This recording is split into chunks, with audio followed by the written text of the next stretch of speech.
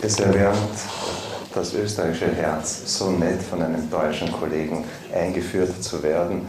Ich danke Ihnen recht herzlich und ich danke auch für die Einladung.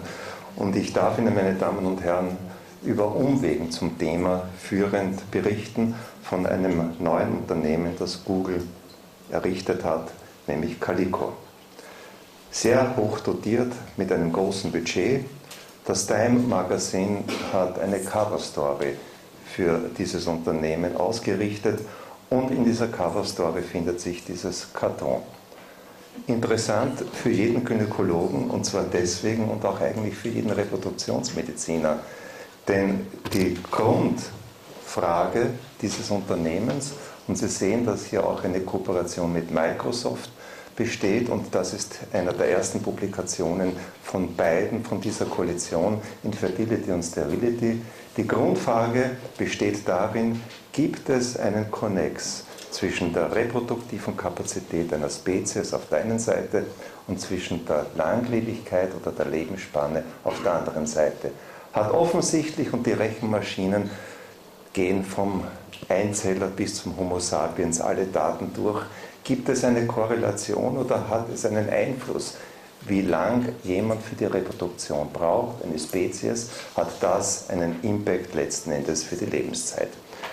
In dieser Arbeit haben Sie hier dieses Kanton, Sie sehen Epigenetik, Genetik. Man evaluiert, warum lebt eine Spezies so lange, die andere einen anderen definierten Zeitpunkt und wie korreliert das letzten Endes mit der reproduktiven Fähigkeit, mit der Notwendigkeit, sich um die Kinder, um die Jungen zu sorgen. Besteht hier eine Korrelation und kann man das unter Umständen auch bei älteren Menschen noch einmal abrufen, wenn es gilt, die Lebenserwartung zu verbessern und damit letzten Endes auch zu prolongieren. Ein zentraler Punkt, den wir Gynäkologen natürlich immer wieder sehen, ist diese Ungerechtigkeit zwischen Mann und Frau. Warum altert die Keimzelle oder warum altert die Keimdrüse im weiblichen Organismus und der Mann, der kann sich oft bis spät noch reproduzieren. Wenn eine Frau mit 55 schwanger wird, dann sieht man oft die Nase nach oben. Wenn ein Mann mit 70 ein Kind zeugt, dann akklamiert die ganze Nation. Eigentlich eine Ungerechtigkeit, meine Damen und Herren. Und diese Frage ist auch in dieser Arbeit evaluiert worden. Warum kommt es dazu, dass die weiblichen Keimdrüsen ihre Arbeit in Lebensmitte einstellen? Und da gibt es eine hochinteressante äh, Perspektive. Sie sehen, dass diese Doppelstrangbrüche, über die Sie möglicherweise heute schon einiges gehört haben, im Rahmen äh, der ersten Lebenshälfte zunehmen. Ab der dritten Lebensdekade nehmen die Doppelstrangbrüche zu und gleichzeitig kommt es zur reduzierten Expression im Ovar von Genen, zu denen das BRCA1 für uns natürlich einen besonderen Stellenwert hat. Mammakarzinom, Ovarialkarzinom. Im Ovar wird das BRCA1-Gen hochexprimiert und der Sinn dieser Expression im Ovar besteht nicht darin, die Frau vom Brustkrebs zu schützen, sondern den Eierstock gut zu erhalten, die Doppelstrangbrüche mehr oder weniger zu eliminieren bzw. zu verhindern. Und wenn dann im Rahmen des Lebenslaufes die BRCA1-Expression äh, abnimmt, wenn also der DNA-Repair äh, irrtumsanfällig äh, wird, dann kommt es zum Avarian Aging und zwar nicht nur bei der Maus, sondern auch beim Menschen. Das heißt anders ausgedrückt, dass dieses BRCA1-Gen nicht uninteressant ist für den Alterungsprozess auch im Ovar. Auch der Eierstock arbeitet deswegen nicht mehr so gut. Auch die Eizellen erliegen letzten Endes den Doppelstrangbrüchen, weil die Reparaturmechanismen über das BRCA1 nicht abreguliert sind. Und hier stellt sich natürlich für jeden, der praktisch arbeitet, die Frage, gibt es Möglichkeiten, dieses BRCA1-Gen in seiner Expression zu stimulieren? Man kann ja jedes Gen mehr oder weniger stimulieren und gibt es unter Umständen für das BRCA1-Gen Mittel und Wege, um die Expression zu verbessern und auch in der zweiten Lebenshälfte noch zu optimieren. Und da gibt es ein interessantes Molekül, das Sie wahrscheinlich auch in der Reproduktionsmedizin immer wieder begegnen, nämlich das Vitamin D. Der onkoprotektive Effekt des Vitamin Ds ist auch deswegen zu verstehen, weil es die BRCA1-Expression nach oben hilft. Und wenn Sie Kinderwunschpatientinnen haben, dann ist es sicher legitim und sinnvoll, sich den BRCA1-Spiegel anzuschauen, den äh, Vitamin D25-Spiegel anzuschauen. Wenn der unter 10 Nanogramm ist, und das ist gar keine Seltenheit im Schwarzwaldgebiet oder auch hier in, diesem, äh, in diesen Regionen, dann hat das für den Kinderwunsch einen desaströsen Effekt. Das BRCA1 lebt mehr oder weniger vom Vitamin D und die Onkoprotektion des Vitamin Ds ist über das BRCA1-Gen verständlich. Würde zu weit führen, das im Detail zu erklären. Sie haben an verschiedenen äh, multiplen Genen diese Response-Elements, wo das Vitamin D, der Rezeptor mit dem Retinoid-Rezeptor, ein Heterotomer bildet, andockt und das Vitamin D natürlich die Wirkung vermittelt. Hier haben Sie einen Histon-Acetyltransferase und wo das Vitamin D ist, da zieht es das BRCA1-Gen praktisch mit in den Promoterbereich von verschiedenen Genen und das hat für viele Funktionen einen Effekt und einen Impact und natürlich auch für die Erhaltung der Art und für die Reproduktion. Eine zweite Substanzgruppe, die offensichtlich auch gegen den Alterungsprozess des Eierstocks sinnvoll ist, sind Kinone. Kinone, die im Chlorophyll vorkommen, im Hämoglobin und die auch in den Mitochondrien, den Kraftwerken unserer Zellen, praktisch die Hauptbestandteile sind. Diese Kinone haben offensichtlich auch eine Protektion auf das Realgewebe. Das Pyrrolog-Vinolin-Quinon ist jenes Nahrungsergänzungsmittel, das momentan in den Vereinigten Staaten den größten Verkaufsboom erlebt, weil es auch am Ovar offensichtlich protektiv gegen die äh, Brüche von Chromosomen wirken kann. Interessant bei dieser Substanz ist vielleicht diese Arbeit von Jochen Kiesel bzw. Wolfgang Werther, sind Wiener, die zum ersten Mal entdeckt haben, dass dieses Pyrroliquinon auch im Kametenstaub vorkommt, dass es offensichtlich eine extrasolare Substanz ist, die dann die Diskussion wieder angeregt hat, gibt es Leben, die aus dem Kosmos zu uns gekommen ist. Die dritte Substanzgruppe, und hier äh, fokussieren wir uns schon, schon bald auf die Landebahn unserer Präsentation, ist äh, in Madonna de Campiglio von Andrea Genazzane. Winterschule kennen Sie möglicherweise, Skifahren und Intellekt, nicht? Äh, Genazzane, Andrea äh, vorgestellt worden. Und das sind diese Phosphoinositoide. Da hören Sie schon zum ersten Mal das Wort Inositol und diese Inositide sind letztendlich nichts anderes als Verbindungen aus drei Bestandteilen. Sie haben den Zucker oder einen Alkohol, Sie haben Lipide, Fettsäuren und sie haben einen Phosphorrest.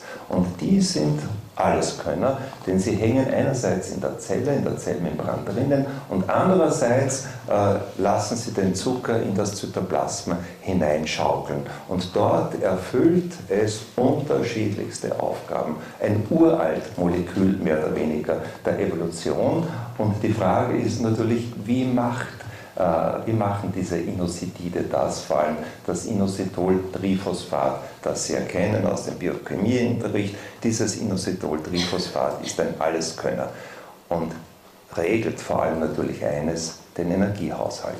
Aber wie machen die das? Sie können es dadurch, dass sie mehr oder weniger dafür verantwortlich sind, dass im Knochen unserer Zelle Kalzium freigesetzt wird.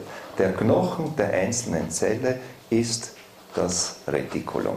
Im Retikulum wird Kalzium gespeichert, genauso wie im Knochen für den ganzen Körper. Und dieses Kalzium im Zytoplasma ist essentiell. Denn immer dann, wenn das Inositol-3-Phosphat irgendeinen Reiz empfindet, setzt es aus dem endoplasmatischen Retikulum das Kalzium frei. Und dieses Kalzium, meine Damen und Herren, ist ein magisches Element.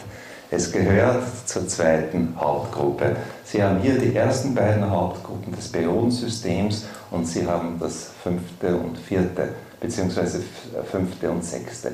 Diese beiden oder diese vier Hauptgruppen sind für das Phänomen Leben verantwortlich. denn sie ermöglichen den Elektronenfluss. Und wenn man sich überlegt, was ist Leben, es ist nichts anderes als der Fluss von Elektronen. In der Mitte übrigens residiert in der vierten Hauptgruppe der Kohlenstoff. Quasi das Element, aus dem wir zu 98 Prozent bestehen.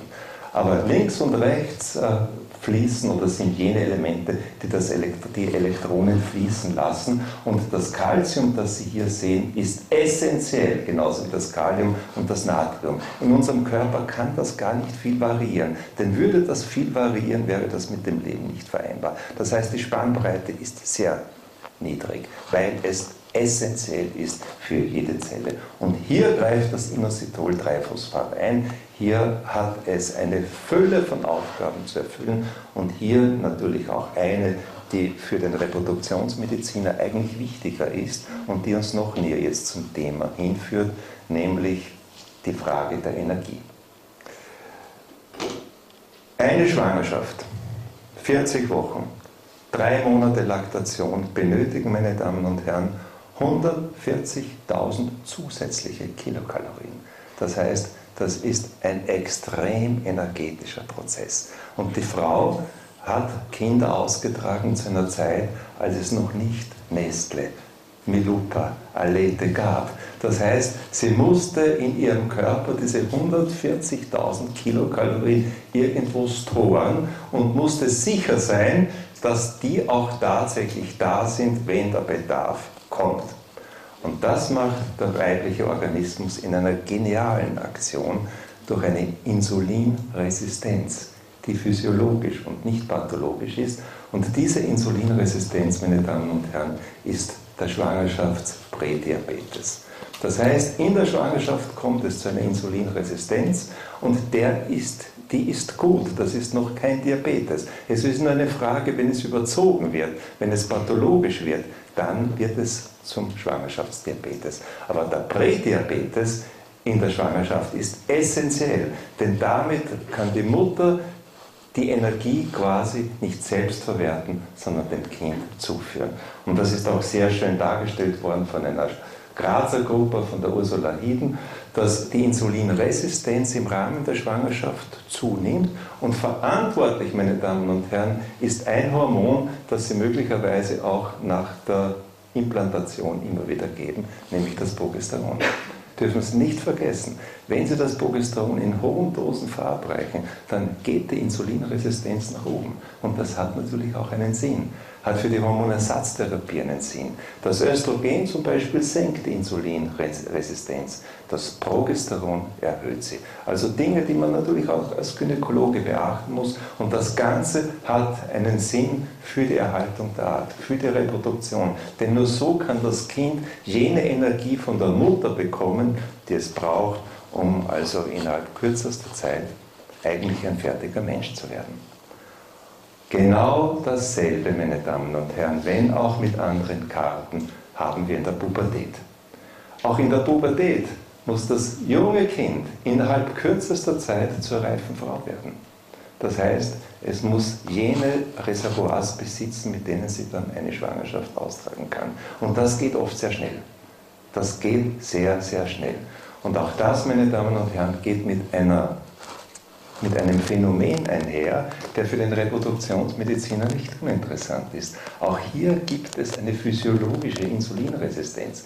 Die muss so sein und diese physiologische Insulinresistenz ist das physiologische PCO.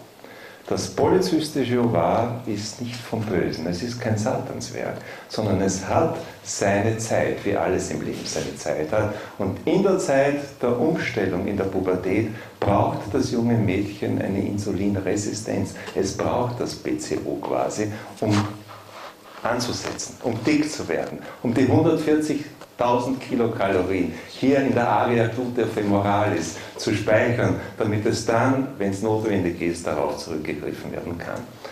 Und interessanterweise allerdings, äh, die Insulinresistenz in der Pubertät wird nicht so wie in der Schwangerschaft durch das Progesteron ausgelöst, sondern in dem Fall durch die Androgene. Das Testosteron macht das, was das Progesteron während der Schwangerschaft tut. Es erzeugt eine Insulinresistenz. Sie kennen das äh, bekannte Phänomen, das LH geht nach oben, die Androgene gehen nach oben und das Kind wächst, beginnt zu wachsen. Das heißt, es speichert das Fett. Und das ist auch gut so. Allerdings, wenn diese Hyperinsulinämie dann längere Zeit prolongiert wird, wenn es zu einer Prolongierung, zu einer Fortführung über viele Jahre kommt, dann tritt das ein, was auch wir in der LVZ mit redigieren durften, nämlich dann ist die Unfruchtbarkeit das späte Erben, das späte Erbe. Das späte Erbe von einem physiologischen Prozess, der an sich sinnvoll ist. Das polyzystische Ovar ist nicht bös, sondern nur die Prolongierung. Und wenn ein junges Mädchen mit einem PCO zu Ihnen kommt, und das haben Sie ja sicher täglich, dann möge man sich hüten, ihr zu sagen, sie leiden an einem furchtbaren PCO.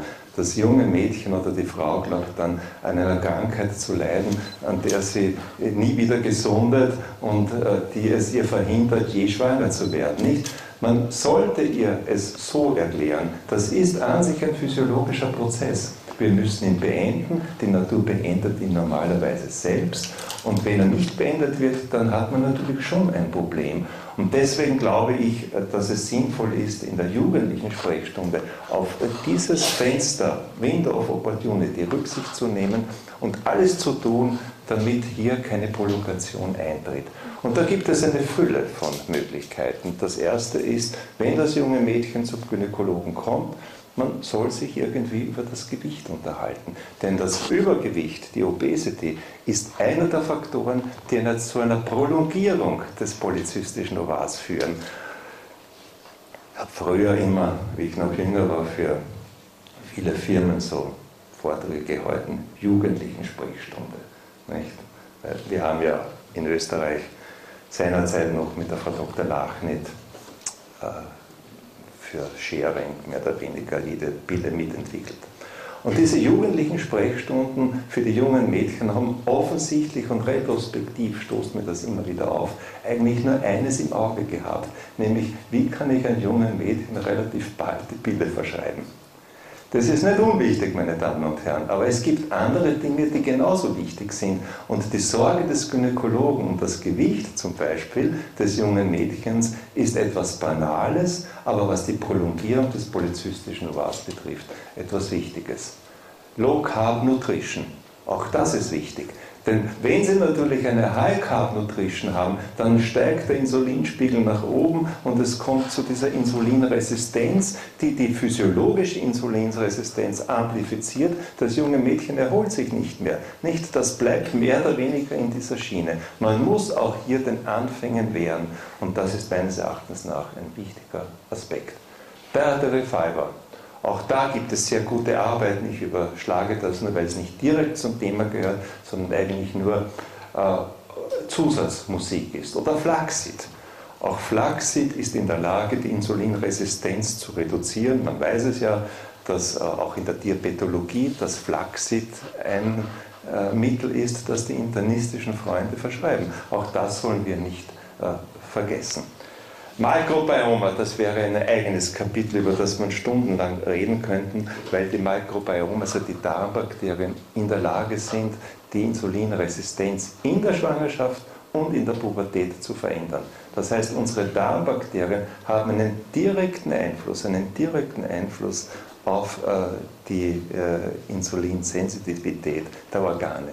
Also das heißt, was sich in unserem Darm abspielt, das beeinflusst nicht nur die Psyche, das beeinflusst letzten Endes nicht nur die äh, chronische Kolpitiden, denn Arbeiten von uns in Wien haben gezeigt, dass die Darmbakterien in der Lage sind, direkt in die Scheide zu penetrieren, und zwar auf interstitiellen Weg.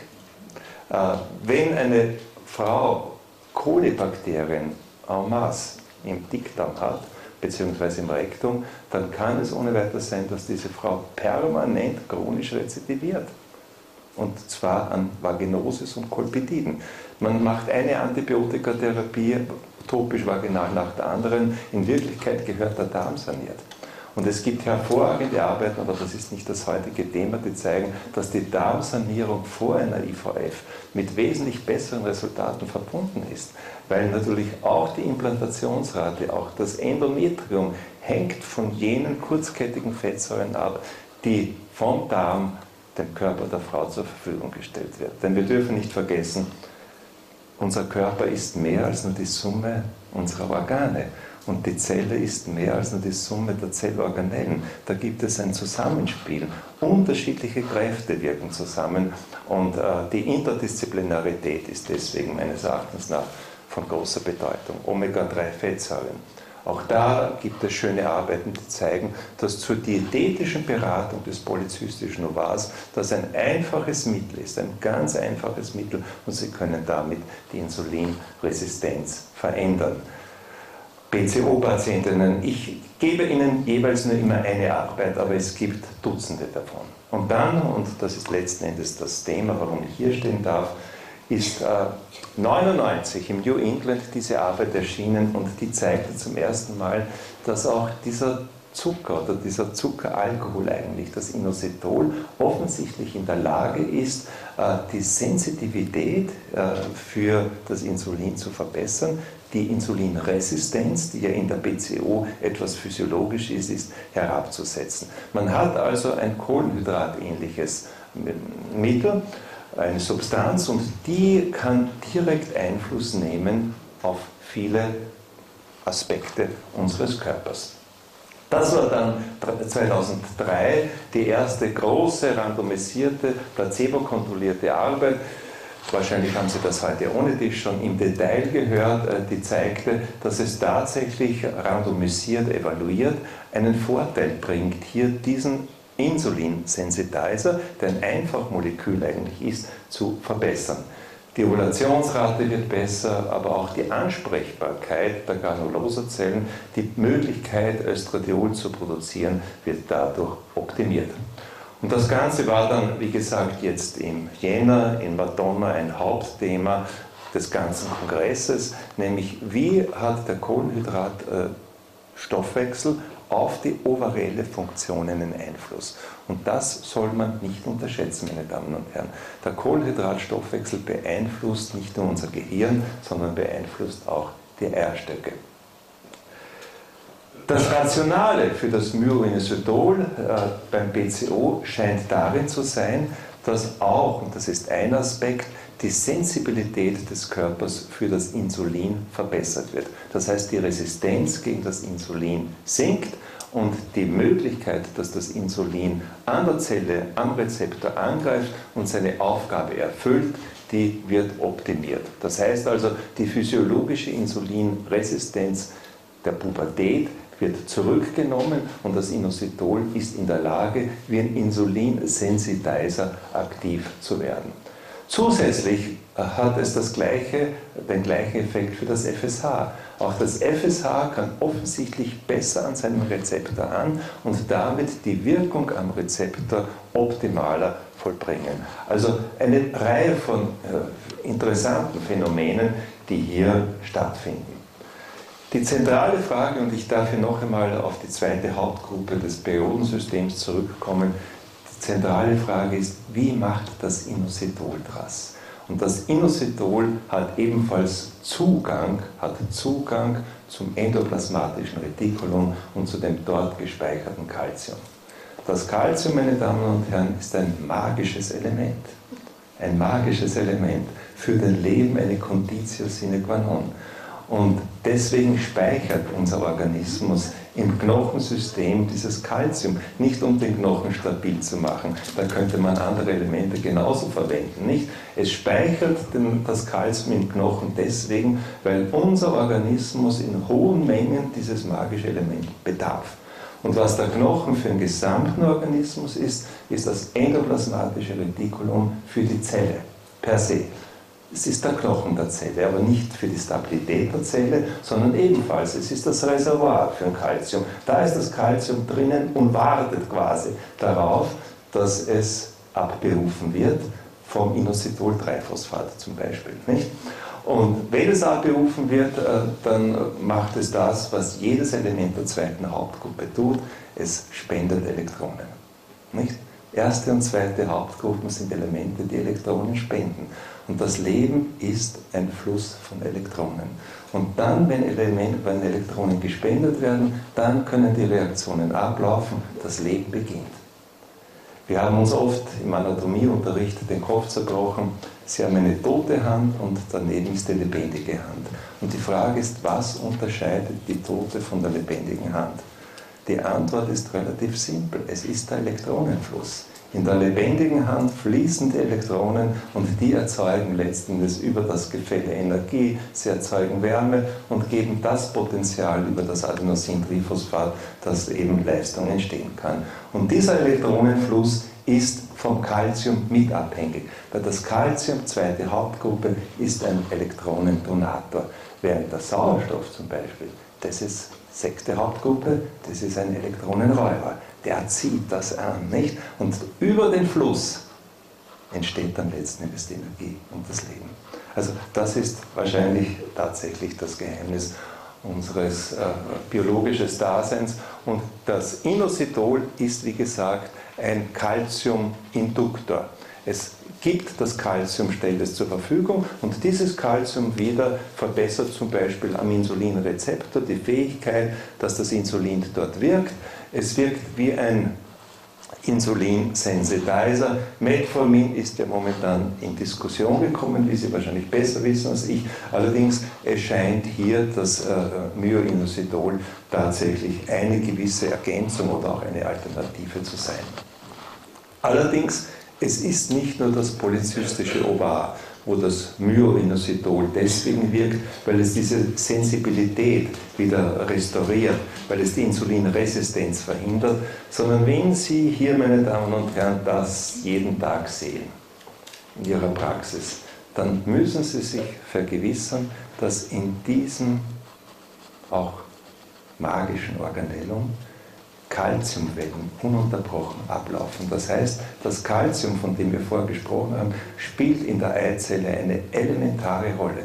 Und zwar, weil die Eizelle, auch wenn sie unbefruchtet ist, ein Quasi-Embryo schon ist. Nicht? In der Eizelle sind die Messenger-RNA für die ersten Tage bereitgestellt. Die Eizelle hat eine Fülle von äh, Geheimbotschaften, die sie im Zytoplasma hat. Das kann man nicht mit einem Sperma vergleichen. Das Sperma ist simpel, meine Damen und Herren. Aber die Eizelle, die hat eine Fülle von wirklichen Botschaften in sich und diese Botschaften, die gehen letzten Endes äh, über das Kalzium. Und das ist auch der Grund, warum das Myoinositol, das dieses Kalzium äh, organisiert und bereitsetzt, warum dieses Myoinositol auch zu einer Verbesserung der Eizellqualität führt. Sie haben sicher heute die Arbeiten schon gesehen. Ich überblättere das ein bisschen, um Ihnen die Zusammenhänge, die Hintergründe letzten auch erklären zu dürfen. Das Myoinositol ist in der Lage, die Einzelqualität zu optimieren. Das ist eine, eine geblindete, doppelt geblindete äh, Untersuchung, äh, die 2011 erschienen ist, auch bei BCO-Patientinnen. Und die, es gibt gute Daten, die tatsächlich äh, eine gewisse Evidenz an die Wand projizieren.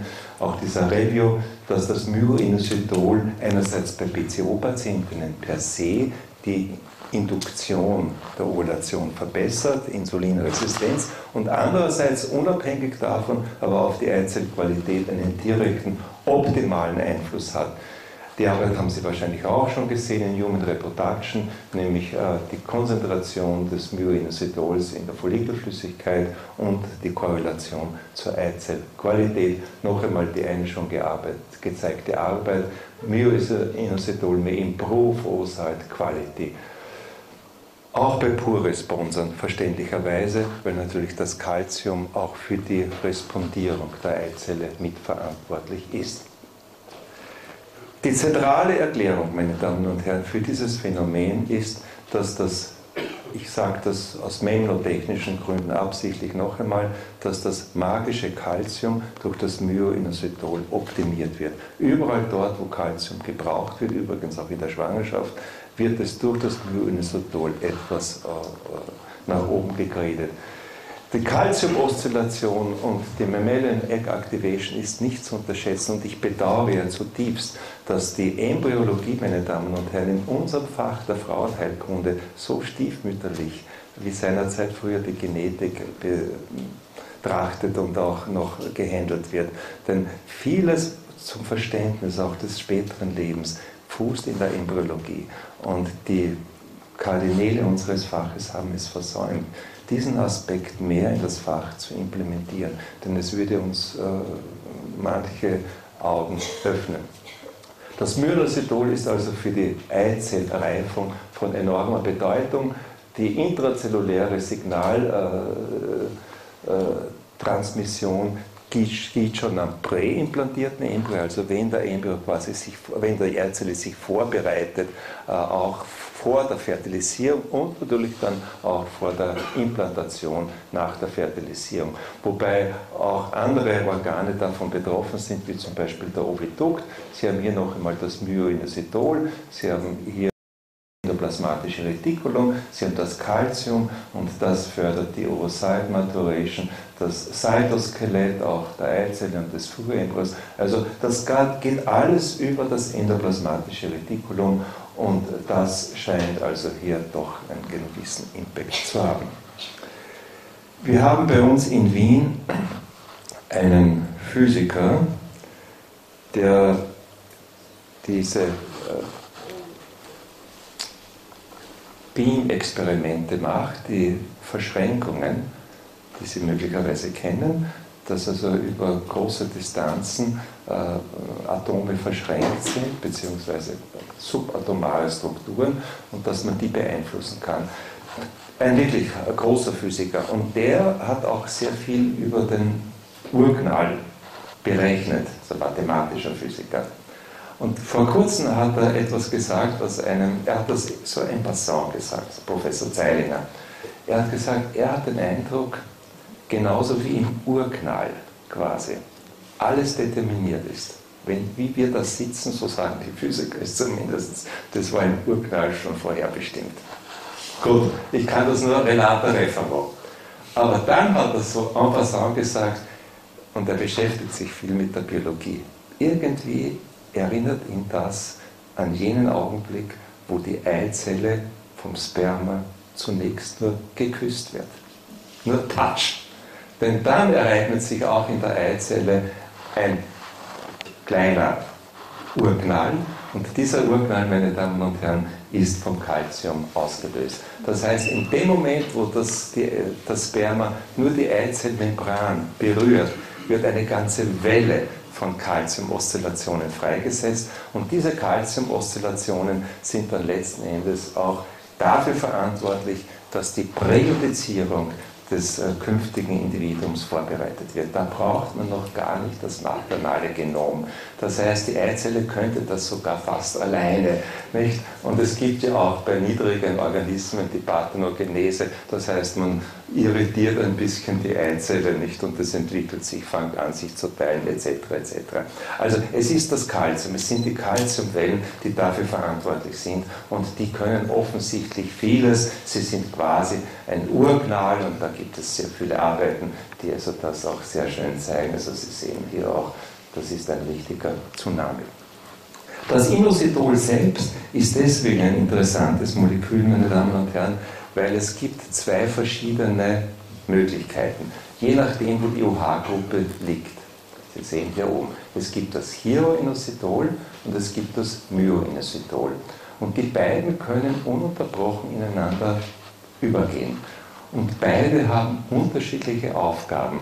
Und das ist etwas, was wir natürlich auch immer wieder sehen, auch in der Endokrinologie, in der Gynäkologie, dass es offensichtlich so ist, dass eine Substanz unterschiedlich ausgenützt wird. Offensichtlich hat der Weltenbaumeister sehr sparsam einige Module in seiner Schatulle gehabt und die werden dann von der Evolution immer wieder unterschiedlich benutzt. Nicht? Denken Sie an das Testosteron, nicht? Das Testosteron äh, ist nur ein Präkursor.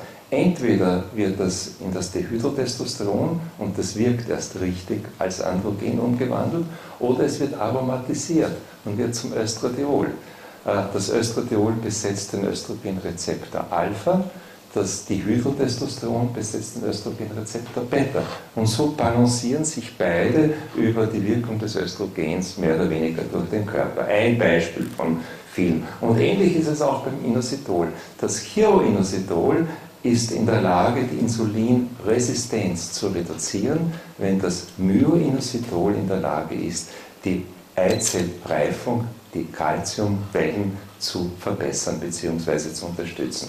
Also es gibt zwei verschiedene Formen des einen und desselben Moleküls und beide haben unterschiedliche Aufgaben. Und je nachdem, was der Körper gerade braucht, nimmt er sich das eine oder das andere und tut das ineinander umwandeln. Also hier ist wirklich ein geniales Design am Werk, das die Evolution geschaffen hat und das natürlich auch der Überlegung über das Überleben der Arten gewidmet ist. Äh, das heißt, anders ausgedrückt, dass die Ratio von Myr und Chiroinositol, die hat eine Plasma Ration, aber die ändert sich letzten Endes. Sie ändert sich je nachdem, welche Situation man hat. Und das heißt auch dieses Inositol-Paradoxon, weil Sie haben zum Beispiel bei der Hyperinsulinämie wird äh, das Myoinositol äh, in äh, Inositol umgewandelt, was nicht so gut ist, weil das natürlich dann bis zu einem gewissen Grad fehlt. Also das würde dann letzten Endes zu weit führen.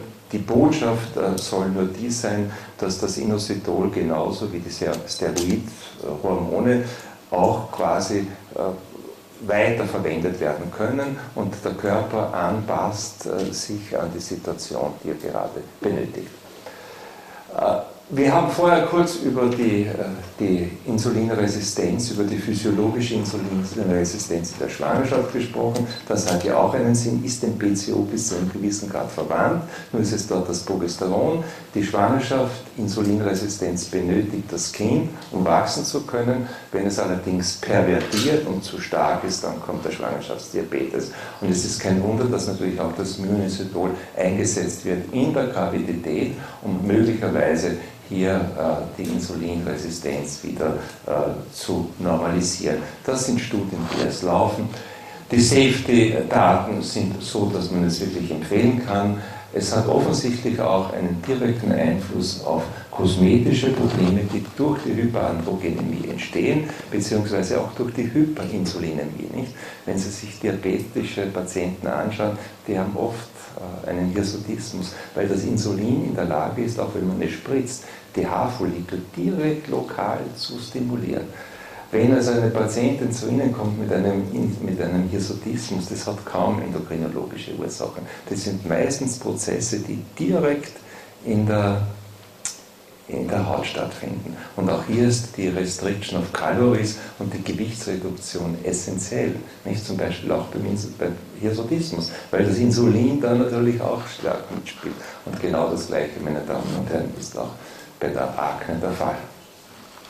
Das darf Ihnen vielleicht auch als einen abschließenden Chauvinismus noch an die Wand projizieren. Das ist eine Arbeit, die wir schon vor längerer Zeit, 2003, äh, publiziert haben. Und hier gingen wir die Frage, der Frage nach, ändern sich die anthropomorphen Parameter der Neugeborenen in den letzten Jahrzehnten? Und tatsächlich war es so, dass die Kinder der letzten 30 Jahre, die haben, sind immer größer geworden. Und wenn Sie heute die Pubertierenden anschauen, die sind noch größer. Also ich war in der Schule noch einer der größten. Wenn ich bei uns im AKH in einen Aufzug hineinsteige, die jungen Ärztinnen und Ärzte sind noch etwas größer als ich. Es kommt zu einer Akzeleration äh, der äh, Körpergröße. Auch das Gewicht der Neugeborenen nimmt kontinuierlich zu. Der Schulterumfang, meine Damen und Herren, nimmt zu. Und wahrscheinlich auch das Gehirnvolumen. Und das Ganze geht über das Insulin und über die Kohlenhydratschiene. Als wir das dann äh, publiziert haben, hat zwei Jahre später äh, Science ein Editorial geschrieben und hat die Frage gestellt, ja, wenn das so ist, wie die Wiener das behaupten, zum Schluss passiert uns dann Folgendes, nämlich dass die Evolution weitergeht. Nicht, dass wir nicht der Endpunkt der Evolution sind, sondern dass möglicherweise auch hier wir nur eine Zwischenphase sind. In einer Zwischenphase, wo es weitergeht. Und das ist aus, ein Karton aus dem Major. Entweder, meine Damen und Herren, zum humanitär ausgerichteten Homo sapiens oder zum Homo sapiens sapiens brutalis. Wir werden es sehen. Mit diesem meditativen Wort zum Sonntag danke ich Ihnen für Ihre Aufmerksamkeit.